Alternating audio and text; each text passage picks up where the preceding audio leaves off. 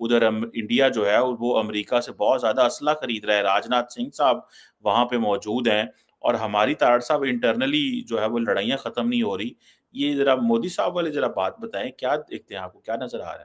مودی صاحب- دیکھیں چیما صاحب میں اس پہ افسوس کرنا چاہوں گا خاص کر اس طریقے سے کہ آپ دیکھیں آج کے سارے اخباروں نے اور میڈیا نے اس کو کور کیا ہے کہ مودی صاحب نے ایئر سپیس جو ہے اس کو اہ، کیا اور اس پہ شادیہ نے ب- ب- لوٹا زرد چوڑ پاکرے نے کہہ رہے جی مودی صاحب نے ایئر سپیس کراس کر دیکھیں ایک آپ بات نہیں کرنا چاہتے آپ آگے نہیں بڑھنا چاہتے اور صرف ایئر سپیس کو یوز کرنے پہ آپ جو میسج ہے خاص کر ڈان نے کور کیا ہے کہ یہ جی ایک خوش اس اٹس گڈ جسٹر تو آپ اگر اتنی خواہش آپ کی ہے تو ایک ایک منٹ لگتا ہے، فون اٹھائیں، چیزیں کلیریفائی کریں آپ ایک دوسرے کو دوسرے سبھی کو جین دوستوں، آپ سبھی کا ہاردک سواگت ہے۔ انڈیاز بھارت پہ۔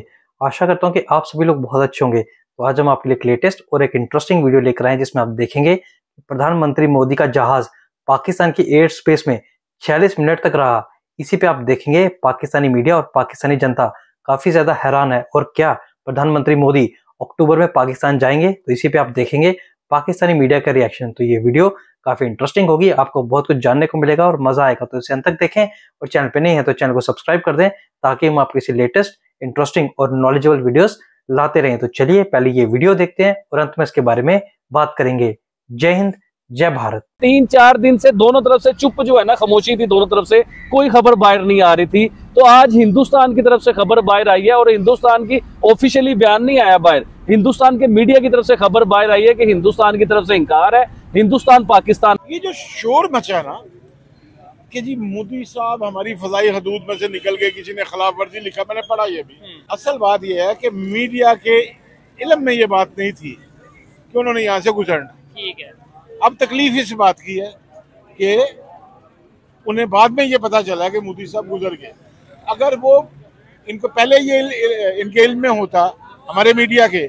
تو انہوں نے یہ شور مچانا جب جنگ ہوتی ہے کون لڑتے ہیں؟ بات ہے فوج بولے فوج لڑتی ہے۔ فوج نہیں جرنیل لڑتے ہیں۔ اچھا جرنیل لڑتے ہیں نہیں نہیں نہیں مختصر بار کرتے ہیں نا۔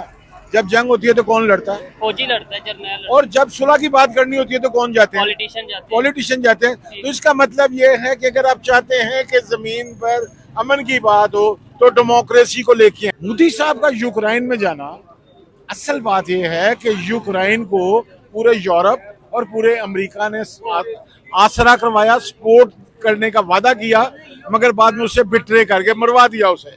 تو اس حالات میں یوکرائن کی جو گورنمنٹ ہے، جو اس کا پریزیڈنٹ ہے، وہ یورپین لیڈرشپ اور امریکن لیڈرشپ پہ ریلائی کرنے کے لیے تیار نہیں تھا۔ خون اپنا ہو یا پرایا ہو، نسل آدم کا خون ہے آخر۔ جنگ مشرق میں ہو یا مغرب میں۔ امن عالم کا خون ہے آخر۔ بم گھروں پہ گرے یا سرحد پہ۔ روح تعمیر زخم کھاتی ہے۔ کھیت اپنے جلے یا اوروں کے۔ زیست فاقوں سے تل ملاتی ہے۔ جیت کا جشن ہو یا ہار کا سوگ۔ زندگی میتوں پہ روتی ہے۔ اس لیے اے شریف انسانوں جنگ ٹلتی جنگ ٹلتی رہے تو بہتر ہے۔ آپ اور ہم سبھی کے آنگن میں شمع جلتی رہے تو بہتر ہے۔ جنگ کی اور بھی تو میدان ہیں۔ صرف میدان کش تو ہوں ہی نہیں حاصل زندگی خرد بھی ہے حاصل زندگی جنو ہی نہیں۔ آؤ استیرا بخت دنیا میں آؤ استیرا بخت دنیا میں فکر کی روشنی کو عام کریں امن کو جس سے تقویت پہنچے ایسی جنگوں کا اہتمام کریں۔ تو میں یہ چاہ رہا ہوں کہ امن کی بات ہونی چاہیے۔ ضیاء الحق کے دور سے جو پاکستان کے اندر ایک ایکسٹریمزم کا بڑھاوا ہوا اس نے پوری دنیا کو متاثر کیا۔ پوری دنیا کو کہ پاکستان کو؟ نہیں نہیں پوری دنیا کو۔ اچھا۔ ضیاء الحق پوری دنیا کا مجرم پوری دنیا کا۔ اور دنیا کو بھی چھوٹا کر دیتے ہیں وہ انسانیت کا مجرم ہے۔ ضیاء کا ہی ایک سٹیٹمنٹ یاد ہے جو اس نے چینی وزیر اعظم کے اشیے میں کہا تھا کہ وی وانٹ ٹو نارملائز یہ ضیاء کے الفاظ ہیں۔ We want to normalize our relation with India according to the Shimla agreement Shimla agreement اب شملہ ایگریمنٹ کیا تھا؟ شملہ ایگریمنٹ جو ہے وہ ڈیفیٹ کے بعد کا ایک معاہدہ تھا نا۔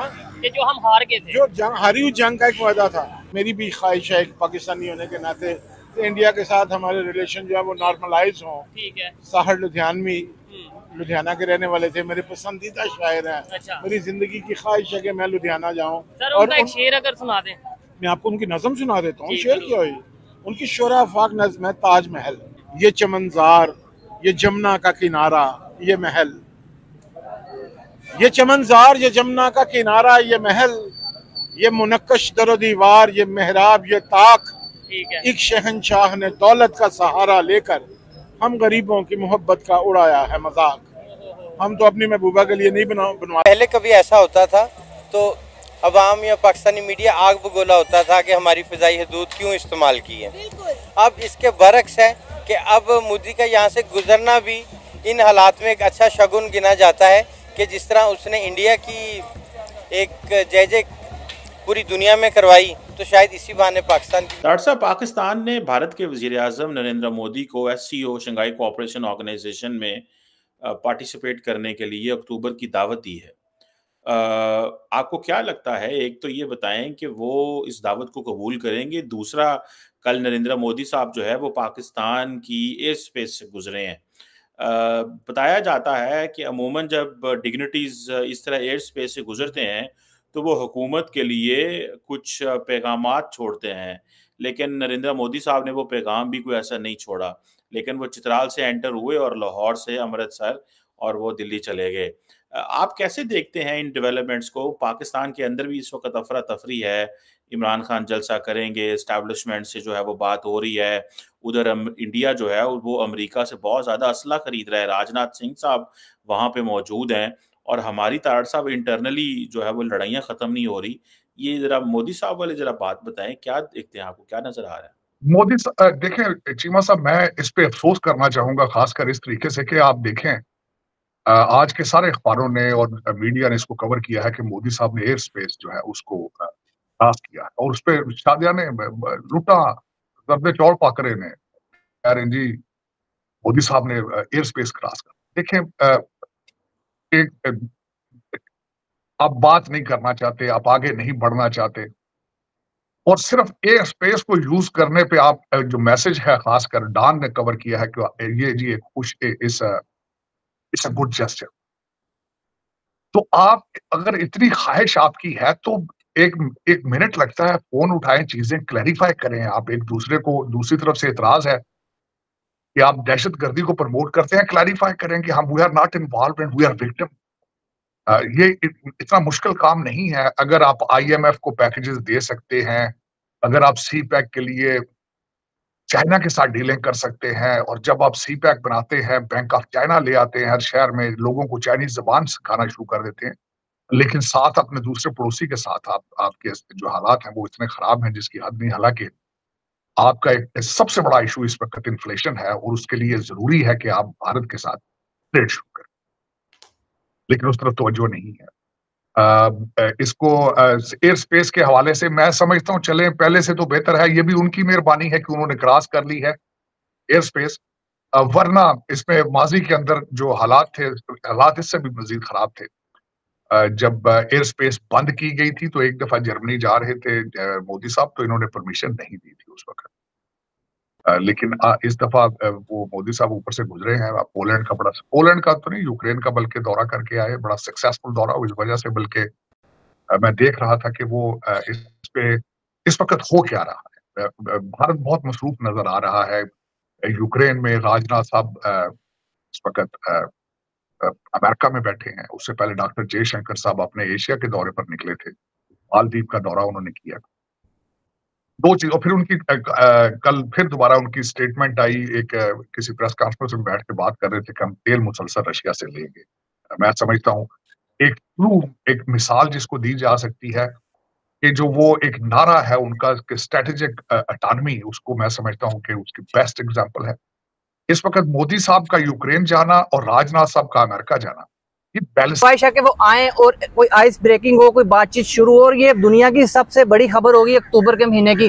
اگر prime minister Narendra Modi Pakistan Islamabad میں ایس سی او کی میٹنگ اٹینڈ کرنے آ جاتے ہیں لیکن ایک میری پرسنل اوپینین ہے یا میرا ایک پرسنل جو مائنڈ وہ کہتا ہے کہ مجھے نہیں لگتا وہ آئیں گے۔ وہ کسی ریپریزنٹیٹیو کو بھیجیں گے۔ انڈیا کا کہنا ہے کہ پاکستان انڈیا میں خاص طور پہ کشمیر کے ریجن میں ٹیررزم کو بڑھاؤ دیتا ہے ٹیررزم کو پھیلاتا ہے۔ خاص طور پہ وہ چھبیس گیارہ بمبئی اٹیک کا بہت زیادہ ذکر کرتے ہیں۔ سب سے زیادہ تعلقات خراب میرے خیال سے ہوئے بھی اس کے بعد ہی ہیں۔ ہندوستان کے پرائم منسٹر نہیں آتے تو اس کے لیے آپ کو اپنی جد و جہد کرنی چاہیے۔ چاہے رشیا کو بیچ میں ڈالیں چاہے چائنا کو بیچ میں ڈالیں چاہے امریکہ کے آپ سفارش ڈلوائیں جب تک آپ کے ہندوستان سے ٹیبل ٹاک اچھے نہیں ہوں گے، ان سے ریلیشن اچھے نہیں ہوں گے، اس ملک میں خوشحالی نہیں آ سکتی۔ ورلڈ بینک کی ایک رپورٹ ہے، اس کے مطابق پاکستان اور انڈیا کے درمیان جو بائی لیٹرل ٹریڈ کا والیوم ہے، وہ 37 بلین ڈالرز ہے اینولی اور ہم ٹریڈ کر کتنی رہے ہیں جو کہ وایا دبئی بے شک کر رہے ہیں وہ صرف ہم اپنا 1.3 بلین ڈالر کا یعنی 37 بلین ڈالر ہمارا والیوم ہے ٹریڈ کا اور 1.3 بلین ڈالر ہم کر رہے ہیں اور اس میں بھی فائدہ دبئی کو بہت زیادہ اندر دے رہے ہیں۔ بہت سے میڈیا جو ہے نا اس طرح کی خبریں بھی پھیلا رہے ہیں کہ پاکستانی گورنمنٹ کو پاکستانی آرمی کو کسی کو پتہ ہی نہیں چلا پرائم منسٹر نریندر مودی اوپر سے گزر گئے۔ ہم کہتے ہیں نا کہ دو ہزار انیس سے لے کے اب تک یہ پانچ سال تقریباً ہو گئے اگست کے مہینے میں بند ہوئی تھی ٹریڈ عمران خان صاحب کے دور میں پانچ سالوں میں پاکستان نے اور انڈیا میں آپس میں ٹریڈ بند ہے۔ لیکن خبر یہ آئی ہے کہ پاکستان نے 1.6 بلین ڈالرز کی امپورٹ کی ہے میڈیسن بنانے کے لیے جو فارماسوٹیکل کا را مٹیریل ہوتا ہے نا جو میڈیسن لائف سیونگ ڈرگز بنانے کے لیے اس کی امپورٹ کیا وہ امپورٹ کس طرح آئی ہے؟ ڈائریکٹ تو بارڈر سے آ نہیں سکتی واگا سے آ نہیں سکتی۔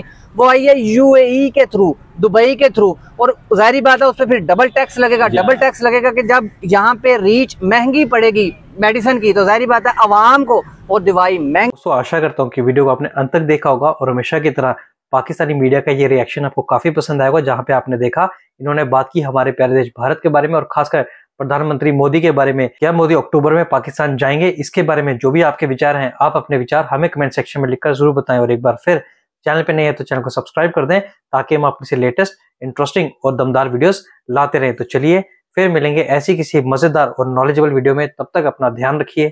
جے ہند، جے بھارت.